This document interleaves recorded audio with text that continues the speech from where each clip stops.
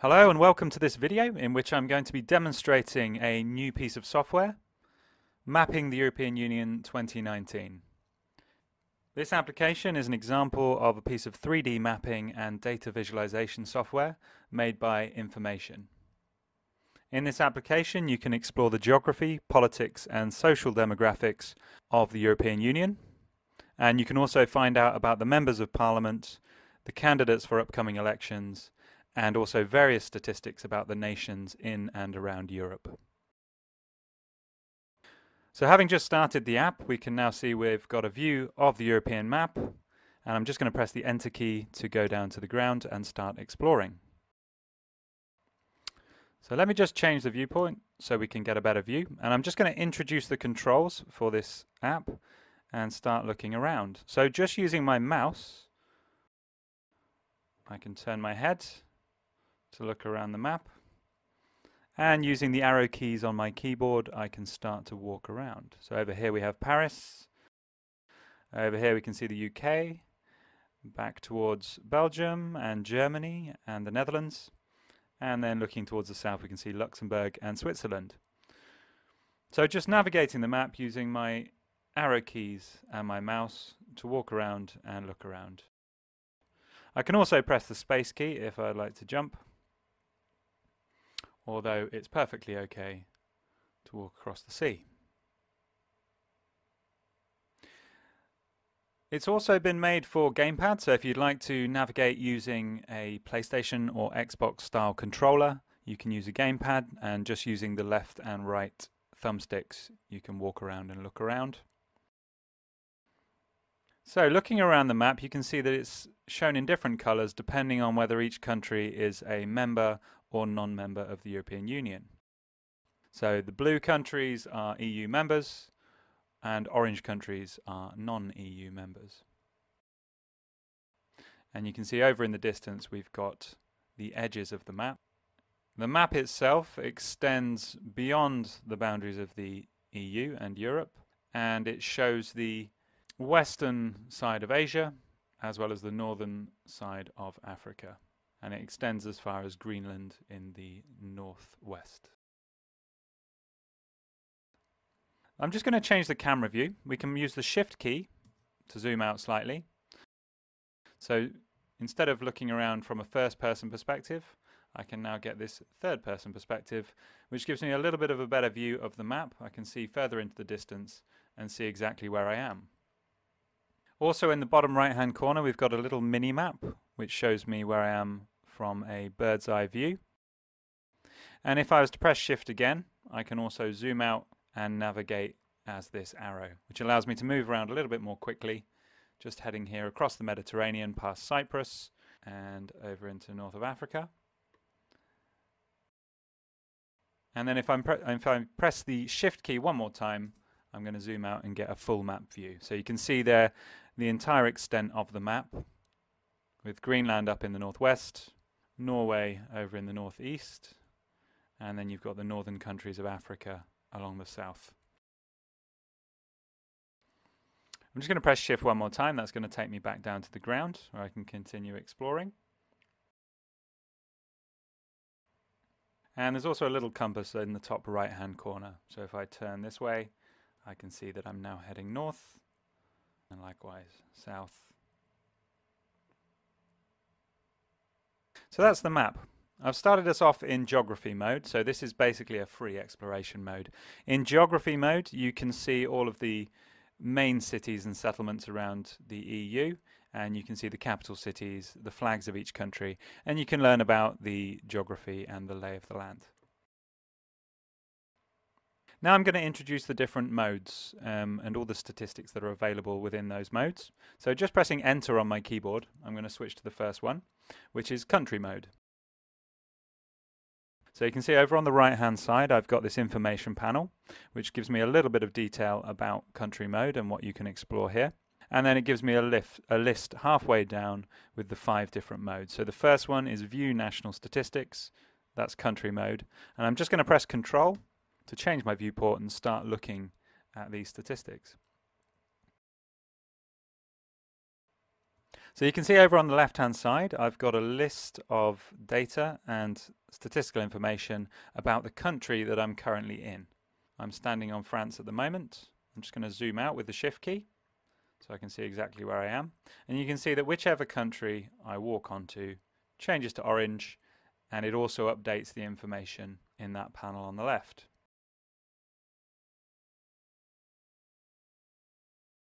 So let's just have a look at what statistics we've got there. At the top, we've got the population of the country, the land area, and then underneath that, we've got a little bit of information about the relationship with the EU. So you can see that France has been a member since 1957. It has 74 seats in the EU Parliament. Population per seat, underneath that. Then you've got the voter turnout from 2014 and the gender split from 2014 amongst MEPs. Underneath that, we've got some other statistics, mostly coming from the United Nations, but also the World Bank. Human Development Index, which is a index of human prosperity, which includes measures of education, health, and financial prosperity. Underneath that, you've got the Gini Income Equality Index, this is a measure of income equality and shows the spread of income distribution between the richest and the poorest within a country. We've then got the GDP per person, also the unemployment rate, the UN Education Index and the Gender Inequality Index. These are both United Nations indices measuring education and gender inequality. Underneath that, you've got CO2 emissions per person, and you've got the percentage of energy that comes from fossil fuels within each country.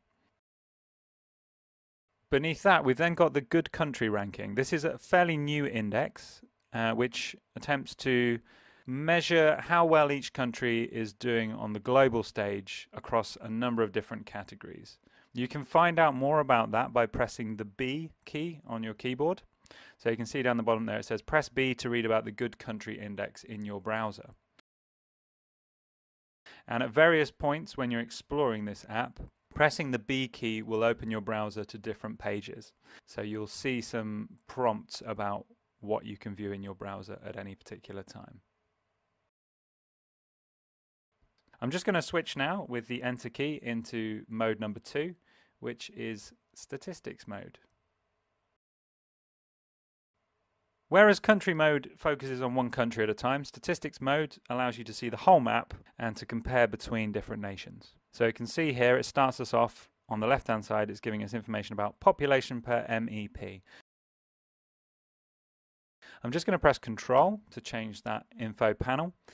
And you can see on the left hand side now, it tells me what statistic I'm currently exploring. It gives me a little bit of information about how to interpret that data and some information about the data source. Underneath that, you've got a list of the different statistics that are available. So using the Alt key, I can cycle through those different statistics. So I'm just going to do that now. We can now see we've got the 2014 election turnout, percentage of female MEPs, Human Development Index, Gini Income Equality Index, GDP, unemployment rate, CO2 emissions, fossil fuels, gender inequality index, and the UN education index. And then just going back to the start. If I press the tab key on my keyboard, I, can also change the style of the visualization. So the default is from green to red, but we can also use shades of green, kind of flesh tones from yellows to pinks, and then we've got shades of red and also a kind of orange to red heat map. So various different ways of visualizing the data as well as accessing different data sources and statistics. So that's mode number two, that's statistics mode. I'm just going to press enter one more time and go into mode number three. And this is MEP mode. So by pressing enter, brings me back down to the ground and we're now able to explore the different MEPs representing various countries within the EU Parliament. So I'm just going to press Control to shift my viewport over to the left and you can see that in the middle of my screen I've got a little target and what this allows me to do is to have a look at each of these little people here and that's going to tell me about every single Member of Parliament currently sitting in the European Union. So right now we're in Portugal looking at the various different Members of Parliament here. We can look around the map over in the distance here we've got Spain and all the Spanish MEPs Over in the distance we've got France. And I'm just going to head over here, see if we can find some recognizable faces.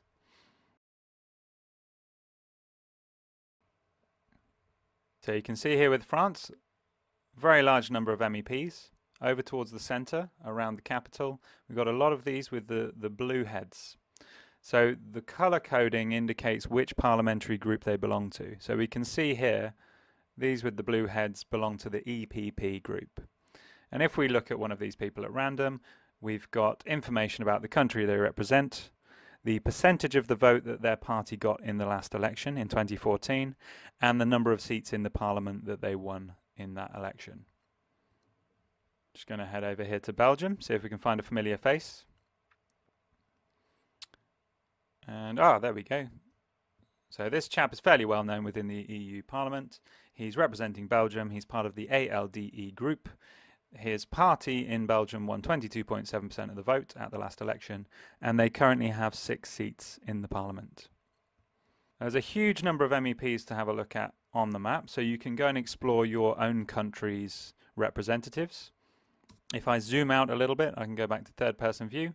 I can zoom out a little bit further to get a view from above. And this also gives me a very nice visualization of just how many MEPs are representing each country. So you can see here Germany with a large number of MEPs, Poland also quite a large number, and then just here some smaller Central European states with fewer MEPs representing them. And of course here these these countries, the uh, Balkan states, which are not members of the European Union, do not have MEPs on the map.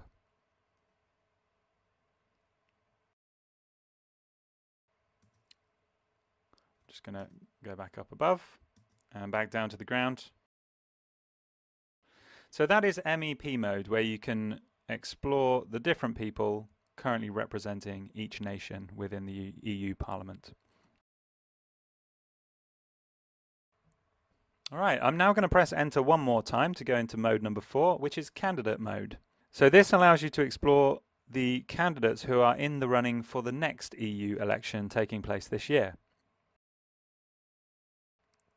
In this version of the app, we only have candidates currently shown in the United Kingdom. And as you can see, once we head over to the UK, the map itself has changed. So now you can see the boundaries between the different constituencies.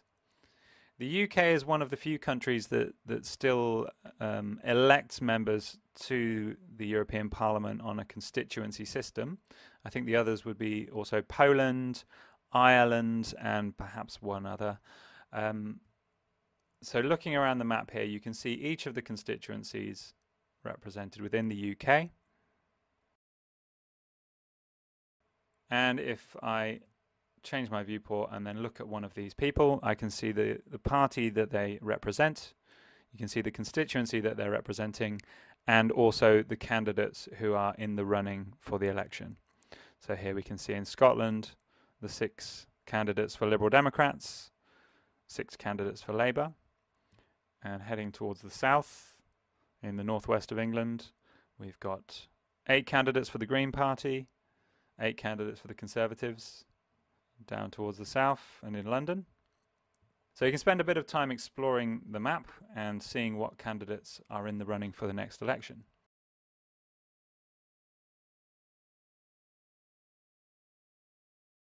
So that's the fourth mode, candidate mode. I'm just going to press enter one more time to take me to mode number five, which is geography mode. And this is the mode that we first started in. So geography mode allows you to explore the map freely and to see all of the major settlements and capital cities around Europe and the surrounding countries.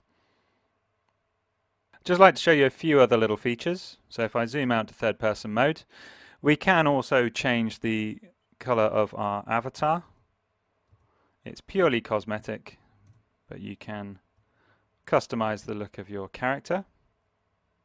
You can also switch on and off the little mini map in the right hand corner, just so you can get a better view if you wish. And full instructions and controls can be accessed by pressing the I key for more information. So here we can see details about what each button does. So the shift key changes the camera view from first person to third person to bird's eye view and then to an overview of the map. The control key changes the information display. So the right hand panel shows information about your mode. The left hand panel shows the statistics that you're looking at. And then you can also close both of those panels. Space key allows you to jump. And with all of these controls, we've also got details about the equivalent for using a gamepad. Second page of the instructions, we've got the five different modes from left to right, country mode, statistics mode, MEP mode, candidate mode and geography mode. Just pressing enter to cycle through those. We can see that by pressing Alt or Option on a Mac, this will change the statistics that are shown in statistics mode. And then the other keys that we can use. B will open up your browser and this will take you to a different page depending on what you're currently looking at. C will change the color of your avatar. M will show and hide the minimap. I will bring up these controls that you're looking at now. Tab will change the color of the data visualizations on the map. Delete key will put you into idle mode and escape key will allow you to exit the application. There's a little bit of detail here about the company who have made this piece of software. Uh, it's informat10n.com if you would like to find out more. So that's information with a one and a zero. You can also send us an email, contact at informat10n.com. We're open to collaborations with various people, and if you would like to see a demonstration version of this app, or if you would like to produce videos, content, screenshots, or podcasts using this application, please get in touch with us. We're interested in helping to spread understanding about European Union, but also about just about any other topic. If you'd like to commission a piece of data visualization or mapping from us, or if you would like to collaborate on a project, please just get in touch. Thank you for watching this video. Um, there are a few more details in the description, plus details of how you can get in touch with us or find out more. We're going to be developing new versions of this software and releasing those in the near future. So we're going to be expanding upon the statistics that are available, as well as representing the new members of the European Parliament in 2019. And we're also going to be adding some new features to make it more engaging and accessible, especially to younger people, but also to people of all ages. And we're going to be adding some gameplay elements to make it more fun and motivating and to give people tasks that will allow them to explore and learn about uh, the European Union. Please check out the description, like and follow us to find out what we're doing next. And please sign up to our newsletter to find out more whenever news becomes available. Thank you. Bye bye.